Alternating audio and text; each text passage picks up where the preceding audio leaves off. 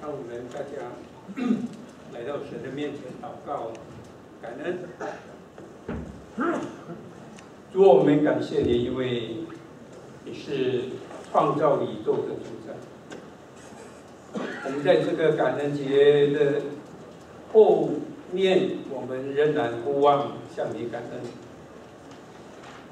主啊，我们求你这个时候让你的子民在你面前蒙恩，你开我们的心，使我们能够看见你的容面，能够听见你自己的声音。我们叫祷告，奉耶稣的圣名，阿门。今天讲一个题目，叫做富足中的，在富足中感谢神。这个是因为这周是感恩节，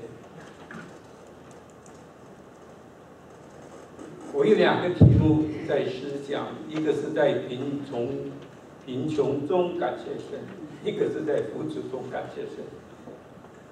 我想你们比较喜欢听这个。其实，在圣经里头，能够在贫穷中感恩。也是一个蛮大的祝福，但是今天我就集中在这个题目，在步骤中感谢神，用这个《生命记》第八章这一段经文，到后面我们才来看这一段经文。感恩节可能对一些人熟悉，可能对一些弟兄姐妹也比较陌生，因为。你在美国的时间可能不是很长，这一个节日在美国来说是很重要、很重要。嗯，这是圣诞节、感恩节，这个非常重要。但是慢慢的看见，在别的国家、亚洲的国家，有些人也有感恩节。我要从圣经来思想一下感恩它的意思，到底神要借助这样的一个节日提醒我们什么？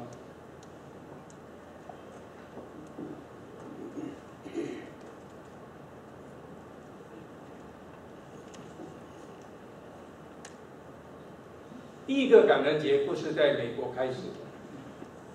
第一个感恩节是在圣经开始的。那，如果你了解这个圣经的历史，知道以色列人曾经在埃及居住了四百年，尤其是后面一段时间，他们成为法老的奴隶，生活在一个没有自由。艰苦的日子里头，没有自由是很可怕的。我宁愿没有钱，我不要没有自由。嗯，所以自由的重要性，只有当我们没有自由的时候，才明白什么叫做自由的意思。人很难。把自己从这种问题、罪恶困境中把他自己带出来，我们很难，我们很难做到。所以你看，有时候我们只要有一点小问题，我们就惨了，不能够处理。很穷的时候很难脱贫，家庭有问题的时候很难找到一个解答的答案。孩子有困难的时候，我们也不晓得怎么办。你发觉我们人的力量真的很少，所以以色列的困境对他们来说，他们是没有办法脱离那种狭制、没有自由的捆绑。啊，不管你人有多少，你只要在一个强权的政治体制里头，你很难出来。那只有一位可以做得到，就是上帝。所以神就对摩西说：“你去埃及，告诉法老，让我的百姓可以离开埃及。”对摩西来说，这个是不可能的事情啊，因为他大己自己是从埃及逃出来的。你叫我这一个摩西回去带领，那绝对法老不会听从我的话，他也不可能把一群他认为对他很有价值的一群以色列人把他放出来，那个是不可能的。他的经济不是垮台吗？但是摩西就去了，然后其他的故事你都很清楚。只有上帝可以改变历史，只有上帝可以叫一个政权垮台。这法老只能够让以色列人离开，所以以色列人离开埃及是被动的，不是主动的，不是我要出来，是因为上帝的工作，所以使他被动的去顺从这一个潮流，所以他们就出来过红海。让他们经历那种不可能的事情可以发生，红海竟然为我们打开。然后在旷野漂流的日子也是蛮漫长的，本来很短，就是因为人不晓得怎么样信靠上帝，结果只有十一天路程变成十四年。所以人一点的差错，可以使我们浪费一生的时间。以色列人的历史就是这个见证。你不跟从上帝，原本十一天的路程，可以成为你一生四十年才要走完的路程。贫穷啊，过了四十年贫穷的日子，学到什么呢？你很多东西可以学的。这贫穷终点跟感恩，但是今天我不谈这个。后来，他们终于到达迦南地。如果你从埃及十一天就走到迦南地，那个对比不是很强烈，就好像你，你这个。像今天啊，你你是一天不是很长的时间嘛，一个半礼拜出门回来还是一样。你从埃及到迦南，那个对比不强烈，但是你四十年在旷野里头漂流之后，那种困难的日子、一无所有的日子，忽然间你进入迦南，哇，那个对比太强，太强。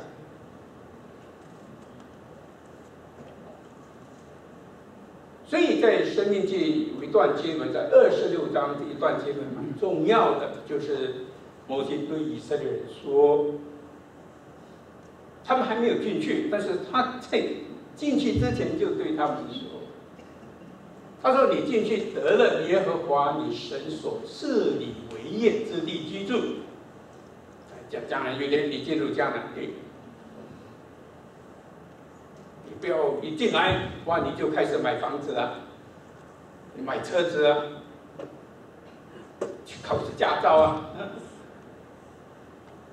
不是，他说你进来的时候，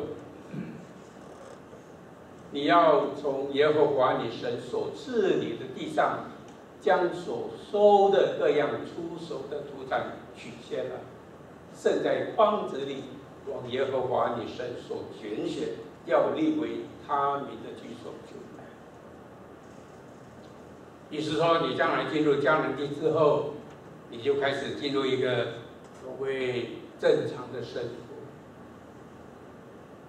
人可以分到地，也可以建立你自己的家园，这个是很正常的一个情况。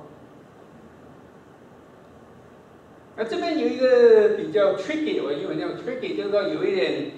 要小心的地方，因为你进入这种所谓正常的生活的时候，人就开始把所有的重点放在这些所谓我们讲的正常。正常这这这什么？考驾照啦，买房子啦，买车子啦，找一个哪个校区啦，然后度假啦，就开始进入一种所谓正常大家做的事情生活。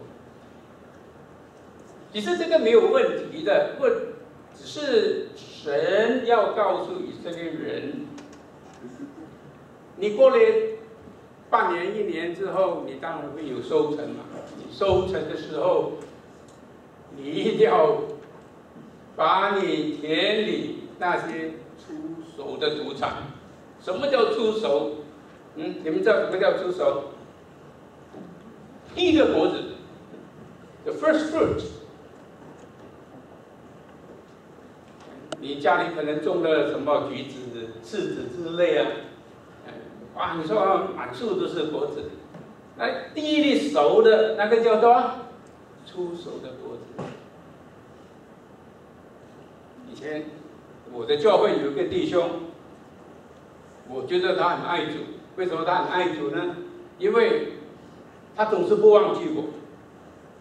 呃，每次他家里那个出熟的果子是给谁的？给刘牧师的。所以我说他很爱主，就是这个原因。哎呀，他每年这个他家里种了好多果子，柿子也有，还有橘子也有。他总是那个出熟的果子，他就就拿到我家里来给我。他说他是广东人啊。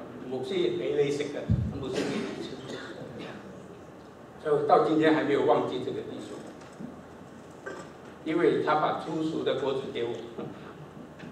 所以出熟的果子就是那个熟的。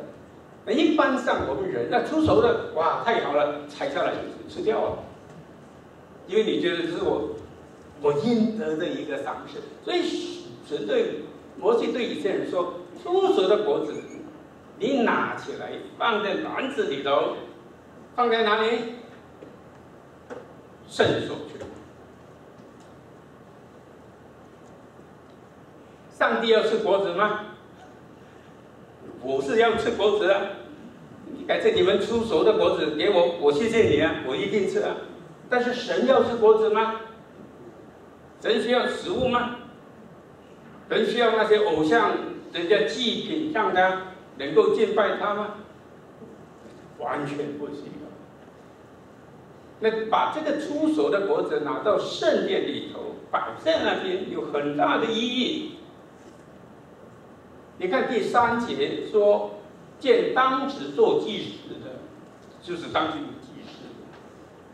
你对他说：“我今日向耶和华你神明认，明认就是。” declare 宣告，宣告什么呢？我已来到耶和华向我们列祖起誓应许赐给我们的地。所以那一个奉献有一个很大的信息，它是一个证据，它是一个证据，它不是要给谁吃，不是给上帝，它是一个证据。这个证据里头有一个信息。就是我们今天能够来到这里，是上帝应许里头所实现的一个应许。这个就是一个证据，这个就是他的信息。你拿着这个出熟的果子，你看，几百年来以前，上帝就跟我们说。将来，亚伯拉罕不但有后裔，他还有土地，他还有祝福，这三个。这三个是上帝讲过的话，是他的应许，今天竟然实现。你看，我们有人，我们有这个地，地所出产的这个果子。就是祝福的凭据，所以这个就是感恩，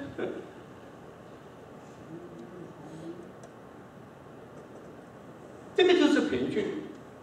所以在感恩节里头，最表面上看是一个祝福，但是看进去你是要看到上帝。所以感恩节是一个让人家看见上帝。的一个节气，但是我发现，在美国感恩节大家谈什么？谈什么？火鸡。哎，我觉得感恩节最可怜就是那些火鸡。所以你看，他们还要到白宫寻求川普总统的豁免，你知道吗？你你们知道感恩节不是有一个豁免会吗？那两只火鸡，知道谁知道这两只火鸡的名字？哎，你们都不懂啊？一个我跟一个叫做 bread，一个叫做 butter，就是面包跟牛油。所以在白宫感恩节有个特别的一个很有意思的一个美国传统，那两只火鸡在那边，啊，川普就按手在这个火鸡的身上，说我今天赦免你你们两位。为什么赦免呢？因为全部火鸡都完蛋了，只有他两只还活着，豁免。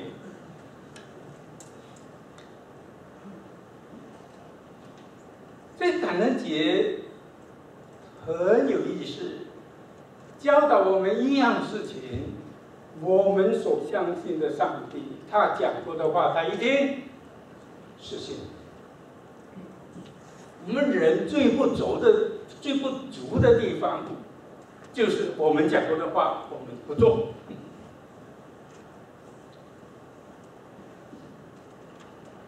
我们讲过的话，如果还没有忘记的时候会做，再过久一点也忘记，也不做了。但是上帝的应许，他讲过，他永远，他不会忘记，他也会做。所以这个出手的果子很重要的。第四节就说，祭司就从你手里取过筐子，放在耶和华你神的前。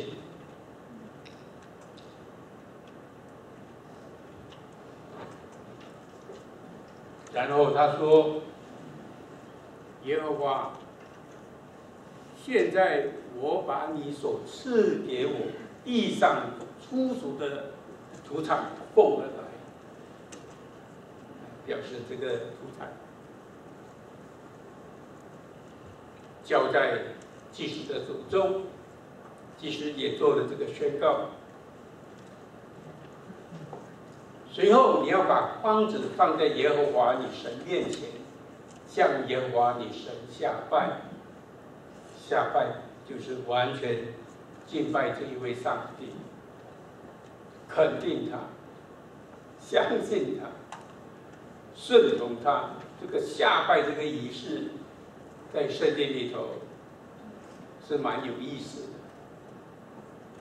然后下面就是说要因耶和华你神所赐你和你家的一切福分欢乐，福分呢？上帝从前允许亚伯兰三样事情，一个就是。你会有后代，结果亚伯拉罕的后代很多。本来萨拉还担心，觉得怎么可能呢？我老早我们都过了这个生育的年龄，但是上帝给他们后代。第二，上帝给他们地，他们已经在迦南地。第三，他们已经有福分，这个土产就是一个很重要的一个证据。而且要为这事情欢乐，所以我常常在想，快乐到底从哪里来？有些人觉得我没有快乐，所以他们就去做一些觉得可以给大家快乐的事情，比如说去玩玩啊，去找东西吃啊，所以这些。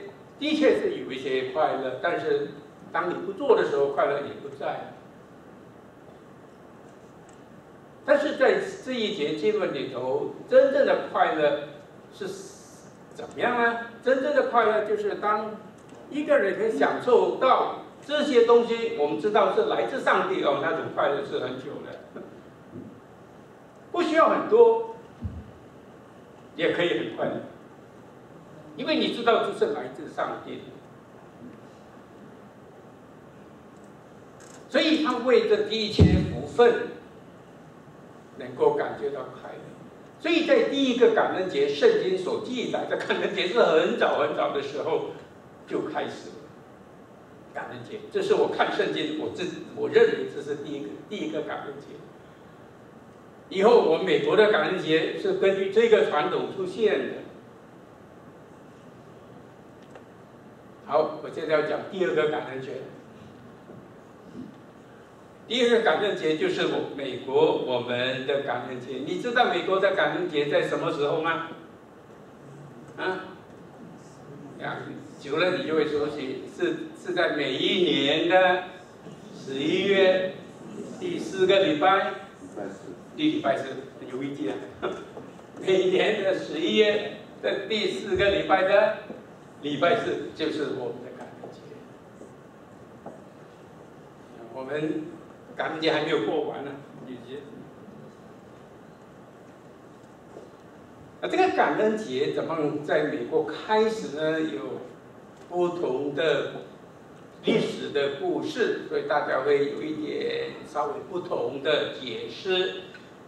但是我就根据这一个是比较正统的，比较多人讲的，就是一六二一年，就是这个清教徒，欧洲的清教徒，他们到新大陆，就是美国的时候，因为那时候宗教的逼迫，所以有一些基督徒，他们就离开。欧洲离开英国，渡过这个大西洋，就登陆在就是美国的东岸，东北的东岸，就是麻省，还有 New England 这些地方。但也我因为我住在东岸很久，所以我对那些地方也比较熟悉。所以那些清教徒就开始在那一带东北，美国东北那些地方就定居下来。那时候这个加州没有人了，加州是沙漠，没有人要来。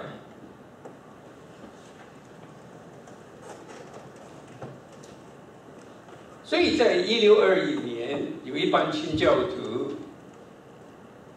他们就开始庆祝。第一个所谓的美国的感恩节，美国的感恩节，那当时那个地点叫做 Blaymore，Blaymore Plantation，在这个波士顿，呃，东南啊，东南边，波士顿东南边，那个地方，他们就庆祝了第一个感恩节。那根据历史呢，有五十三个清教徒，然后有九十个印第安人，大家一同庆祝，共三天的时间，所以当时就是一个感恩节才开始，一六二一年，所以你就要记得。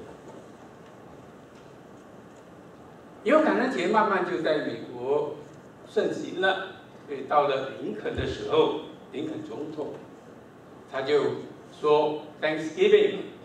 Praise to our beneficent Father who dwells in the heaven。所以感恩节，当时林肯总统就把它先认为一个向上帝感谢的一个节气。所以美国感恩节很有信仰的意义的，是为了感谢上帝，不是给大家高兴的一个节气。天教，为什么这天教徒会举行感恩节呢？其实，在欧洲的日子也是蛮丰盛的，但是等到他们到了新大陆、新世界的时候，我们就 New World 的时候，就是这个美国大地，他们没有想过这个地方更丰富。你们觉得加州丰富吗？啊，很丰富。但是加州只要你把它的水切断，它什么都不生给你。我们加州的菜水果全部靠什么？水利灌溉出来的，连你家里的草地也是要靠水利。所以加州实在是一片荒野来的。你只要把那个水切掉，我们南加州这些人都要渴死了，不是饿死了，是渴死。但是如果你到美国东岸的时候，哎呦，你当时的人一看，哇，这个地方都是树林。你从美国东北，你到 Florida，差不多一千两千公里的，哦，大概最少两千公里的距离。他们说在早期的时候，这个树密密麻麻。他说这个松鼠，如果它在新英格兰。的树上开始跳跳跳，可以跳到 Florida，不必下来的。为什么不下来？因为都是树。后来大家把它树砍掉了，所以就开始耕种。那种丰富只能够提醒他们一样事情，就是上帝的祝福。所以感恩节是这样开始。那为什么要吃火鸡呢？我这次。没有空去查为什么火鸡成为大家喜欢喜爱的食物在感恩节。但是如果你回到早期美国历史的时候，哎呀，到处都是火鸡啊，到处都火鸡，所以你要吃火鸡很简单，拿一把枪去树林里头，啊，你就可以找到火鸡。说火鸡是很普遍的一种飞禽在美国里头。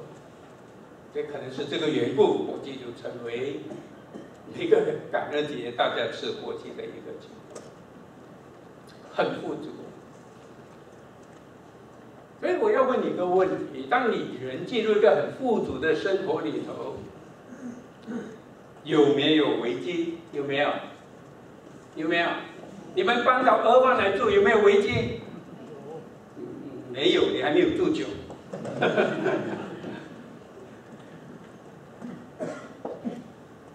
当然，一个地方很丰富，有很多好处，这个绝对是没有问题。有没有危机？有的。那个危机不是能够一下子给你看见，但是如果你不注意，它就成为你的陷阱。这个就是我要谈的另外一个第三个题目，叫做“活在丰富中”。在《生命记》第八章，摩西就提醒以色列人，告诉他们这个迦南应许地是怎么样丰富的。你从前在埃及，在旷野里头，你发现真的是一无所有。但是你到了这个迦南地的时候，你就发现这个地方真的是一个很大的对比。你们什么人到过以色列？有没有人到过以色列？有没有？举手看看。啊，有一个，这一个，你们有没有去过？哦，你们觉得以色列美吗？你看他们说不是很美。如果你到以色列的时候，你发现它跟我们加州差不多，就是很多沙漠，啊 很多沙漠，很多石头。树木也不是那么多，草原也不是那么多，所以对比来说，这个以色列的地没有我们美国的地那么好。如果你到美国、到加拿大，你发现我们的地更好。所以因为这样的一种比较，所以这些拉比啊，就犹太人的拉比。所以他就在想，他说为什么摩西要把我们带到这个迦南地，the land of Canaan，Canaan，哎，我们教会叫做 Canaan，你们知道吗？啊，Canaan。所以他说为什么摩西要把我们带到这个 Canaan？哦，他们明白了，他可能摩西听错了，其实上帝是说。你带他们到 Canada，不是带到 Canada。这个拉比觉得这个这个以色列地并没有比加拿大加拿大更丰富种地的角度来讲，但是你不能够这样比，因为当时你比较旷野跟以色列这个以色列就美丽的多了，这个对比。所以这个丰富这个概念是一种比较的概念，明白意思吗？有些人你给他一万块，他都很满足的，他觉得有有有有十万我就可以过一生，我觉得幸福。有些人你给他一百万，他觉得很不够，他觉得一百万我还是穷。他要一亿，他才觉得有钱。这意思说富足这个概念是一种相对的概念，relative 概念。所以上帝给以色列人这一个迦南地是很有意义的。为什么它很有意义呢？因为它基本上的东西都有。一个地最重要的是什么？水。你没有水，这个地没有用的。所以我说，加州你只要把上面那条河切断，我们全南加州人都都会搬到北边去住。这个不好。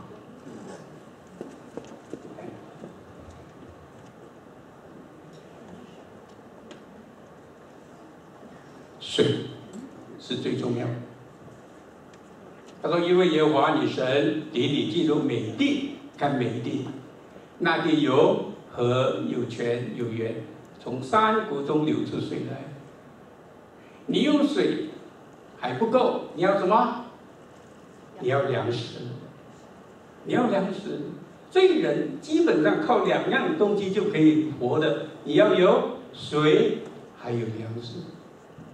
你有水有粮食，其他东西不需要太多。你看有什么？小麦和大麦，OK，我问你，小麦好吃还是大麦好吃？啊？啊，我跟你讲啊，大麦是给牛吃的，小麦是好东西，大麦给牛吃。还有葡萄树、无花果树、石榴树、橄榄树和蜜。你知道这几样东西啊？人家说这个没有什么了不起，但是你知道这几样东西，今天的人把这几样东西当做什么？啊，healthy food，OK，你到那个那个 Sprout，到那个 Trader Joe，这些就是他们卖最贵的东西。所以你不要吃别的东西，这个才是最 healthy 的。你看，上帝知道怎么养他自己的百姓，OK，很富足哦。啊，现在我要讲富足中有什么危险呢？他说你要谨慎。哎，你从来没有很少人教导我们说，哎，你现在你钱很多，你要小心。很少人跟我们讲这句话，人家只会告诉，哎，你现在没钱，你要小心。人家说你你很多钱，很少说你要小心。哎，你很聪明，你要很小心。你考第一名，你要很小心。人家说你考最后一个，你要小心。人最大的威胁常常不是从下面出来，是从上面下去。你没有的时候，不是很多危险；你有的时候，那一个威胁很大。他说：“你要小心，小心什么呢？免得你忘记耶和华你的神，不守他的诫命、典章、律律，就是我今日说的。他不是说小心。”将来你会没钱，将来你住不起房子，将来你没空去玩耍。他不是讲这些事情，他是讲到人生最根本一个问题：如果你忘记上帝，你所有的东西都一无所有。他讲的是这个。感恩跟忘恩是一个很大的一个对比。然后十二节说：“恐怕你吃的帮助，我们每个人都希望吃到帮助，建造美好的房屋居住，你的牛羊加多，你的金银增添，为你所有的全都加增。这个有什么好担心呢？我吃得饱，我的房子漂亮。”我的牛羊很多，我的银行存款很多，我叫什么都有什么，这个有什么好担心的？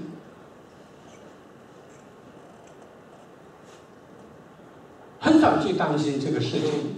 我们担心是怕没有这些东西，我们不是担心有这些东西。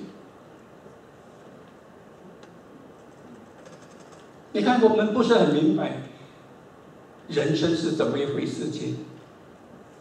然后在这里，我就讲到一个叫致富程序，就是一个人追求财富的那条路线。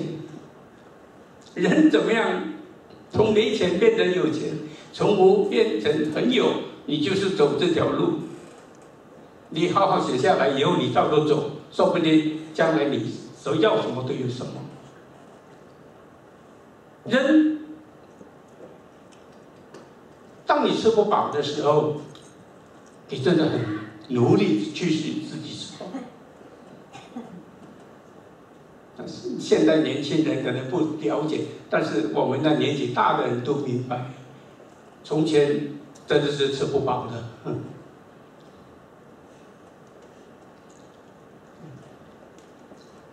你从念书的时候。可能大家还没有钱，所以当时候，哎呀，拿到一份工作，拿到一个薪水，那时候吃饱的日子才开始。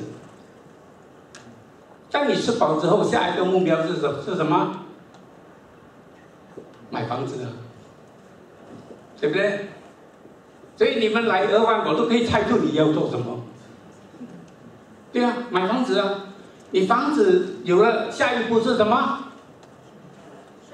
牛羊，牛羊就是你的事业嘛。牛羊加多就是叫你的羊牛多生几只，你的事业就发展。然后当你事业很发展的时候，下一步做什么？那就把它变现成为现款了，就是你银行开始有钱。当你很有钱的时候，下一步做什么？你想要的东西都可以做到。嗯。人都在走这条致富的一个路线，很正常的，没有问题的，因为它也代表上帝的祝福，但是要很小心。你这条路要很小心，为什么很小心呢？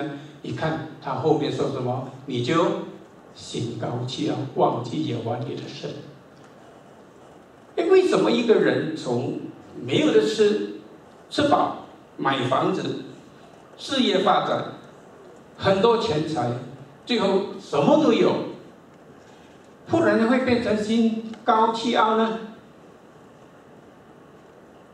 如果你不相信，你去注意一下，凡是朝这条方向走的人都非常骄傲，有一天他成功。那为什么他会骄傲呢？那我现在问你：你从没有的吃到你吃饱要花几年？要花几年？哇，比如说我们做穷学生也要念书好几年嘛，对不对？那就算个四五年，哦，吃饱了。你吃饱，吃饱到你买一间房子要几年？在俄湾要几年？啊，三年、五年、十年都可能。的看你有本能有多少？Ten years。那从你有了房子，又把事业发展起来，要又要几年？啊，算上五年，快要快要多少？十五年了。然后当你事业发展，钱财累积很多的时候，要几年？那最少也要五年，对不对？二十年。等到你说，哎呀，我终于赚够了，可以去享受了。那时候你几岁？大概六十岁。好，我问你，这条路长不长？啊，有些长，有些短一点。那但是你要每一个东西都能够达到目标，你知道不是容易的。你从没有到有，你知道你要花多少时间吗？你知道你要牺牲多少的就是崇拜吗？你知道你要牺牲多少侍奉的机会吗？因为你每天想来想去就是花。很长的时间去 make it happen，在这个过程里头，当然会忘记上帝嘛？为什么会忘记上帝？因为整个过程最后让我们看见，如果不是我这个刘少平那么聪明，那么厉害，你可以从没有的吃变成今天成为二万的第一个首富吗？你明白我在讲什么吗？你是你明白我在讲什么吗？骄傲，骄傲，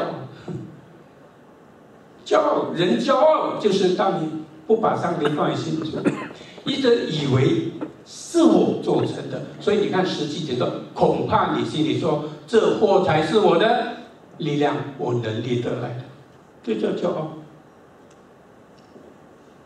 这有也很危险的。如果一个人因为你成功，你骄傲，我有时候宁愿你不成功，变得谦卑。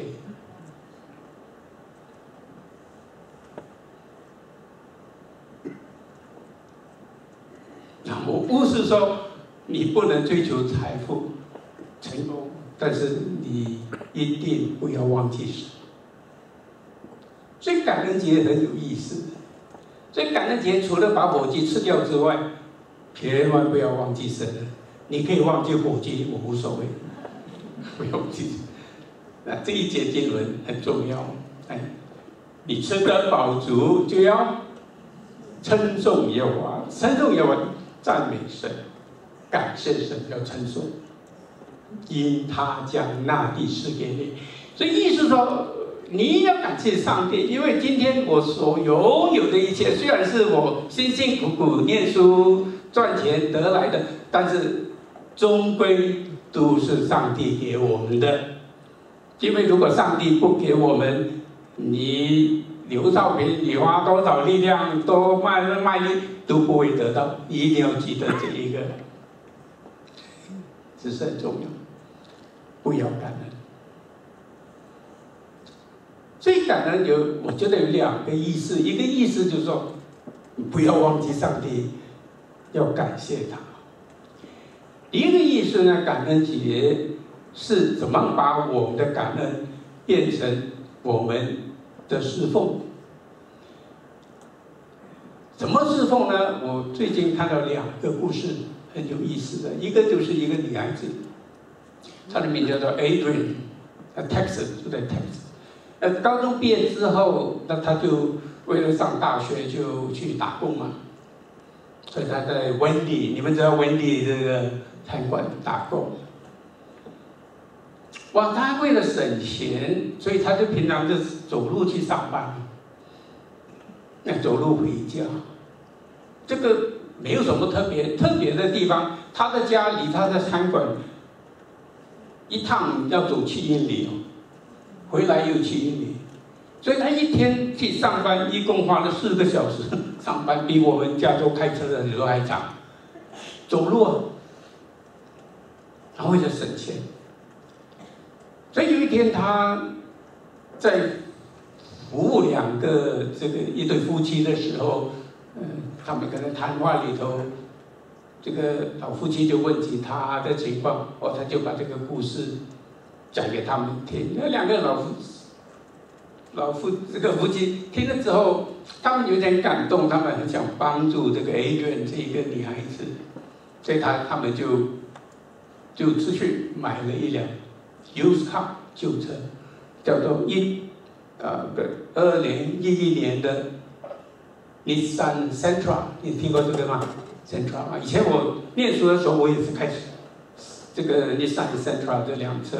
我那辆也是用过的车，老车，爬山就是最后一个才到那种车。哎，他就把这个车子送给他，啊，那个女孩子真的很很感动，甚至流泪。我问她说：“我到底怎么可以报答你们？”这个夫妻就跟他讲句很简单的话，他说：“哦，你不需要报答我们什么？”他说：“如果将来你能够的话。”多去帮助别的人，这个女孩子没有忘记这句话。她现在上大学了，因为是最近发生的事情。也是一个人，你蒙恩，当你感恩的时候，你做什么？我们基督徒蒙恩，我们感恩，我们做什么？就根据这个老夫妻的一句话，就是说，你去。把同样的事情做在别人身上，这是他讲的。第二个故事我在讲，有一个妈妈，因为跟丈夫的关系不好，后来丈夫把她赶走了，那她她就四十四岁罢了，然后带着她十六岁的女儿叫做 Ashley，她的名字叫 Sandy，所以 Sandy 她叫 Ashley 就走了。你平常依靠丈夫的人，一下子你没有地方住，那也蛮可怜。结果他们就住在这个 motel，motel 这个这种旅旅馆。哎，motel 要付钱的，不是免费。所以他一边打工，但是过了一阵子，发觉根本就没有办法付这个模特的钱。结果两个人就。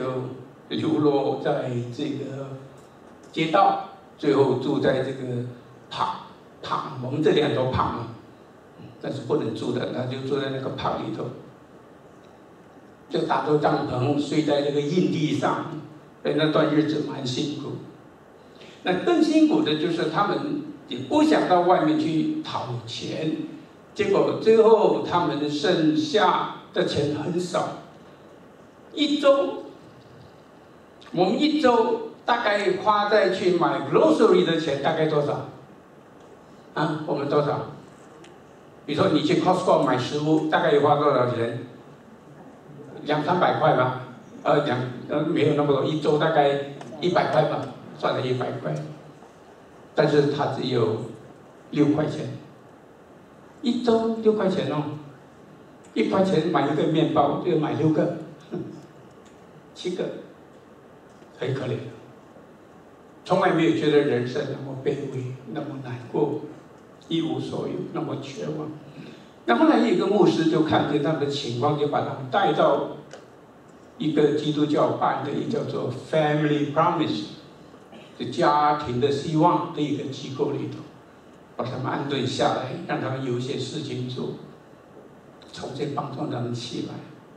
哎呀，他们很感恩啊！十年过去。今天这个三弟是这个 Family Promise 的董事，这个叫做感恩嘛？感恩就是把人家做在我身上的善事变成我做在别人身上的善事。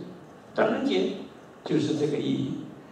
今天是圣餐主日，但圣餐呢有很多的神学的含义，其中一个是感恩。你记得当耶稣基督拿起杯来，他说：“注谢了，知道这个吗？注谢是什么？感恩，give thanks。所以这个圣餐是一个感恩开始，注谢了。你不谢谢上帝是不可能的，所以他耶稣就注谢了感恩。所以这一个圣餐，这个饼，这个杯。当我们领受的时候，真的是要持着感恩的心。如果不是主耶稣基督舍弃自己、赦免我们的罪，我们真的没有今天的日子。所以，我们最大的幸福不是在财富，我们最大的幸福是在基督的身上。我们最大的盼望是在他的救恩。我们最大的可靠是因为上帝从来不忘记我们。